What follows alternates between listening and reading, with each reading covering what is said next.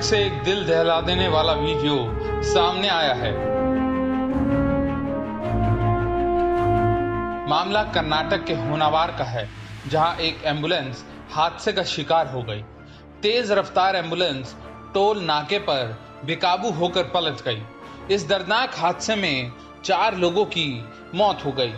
घटना का video social media पर तेज़ी से वायरल हो रहा है। बताया जा रहा है कि कर्नाटक के उडुपी ज़िले में शिरूर टोल प्लाजा पर यह हादसा हुआ। हादसे की तस्वीरें सीसीटीवी में कैद हुई हैं, जो रोंगटे खड़े कर देने वाली हैं। दर्दनाक हादसे में चार लोगों की मौत हो गई।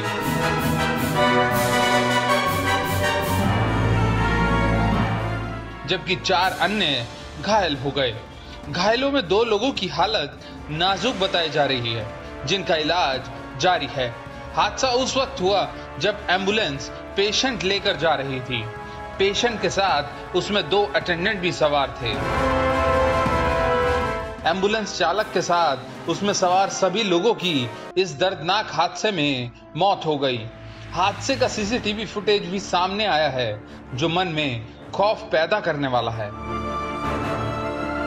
तस्वीरों में आप देख सकते हैं कैसे एक गार्ड एंबुलेंस को आते देख दो बैरियर को समय रहते हटा देता है। इसके बाद बूम बैरियर भी ऊपर कर दिया जाता है। लेकिन जैसे ही टोल नाके पर एंबुलेंस आती है, वो बेकाबू होकर डिवाइडर से टकरा जाती है।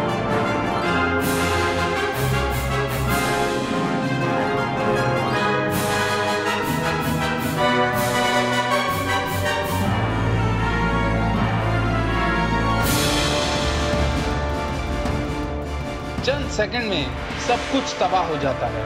ऐसा दावा किया जा रहा है कि एंबुलेंस की रफ्तार बहुत तेज थी और इसी दौरान गीली सड़क पर एंबुलेंस चालक ने ब्रेक लगाने की कोशिश की, लेकिन नाकाम रहा और गाड़ी हादसे का शिकार हो गई।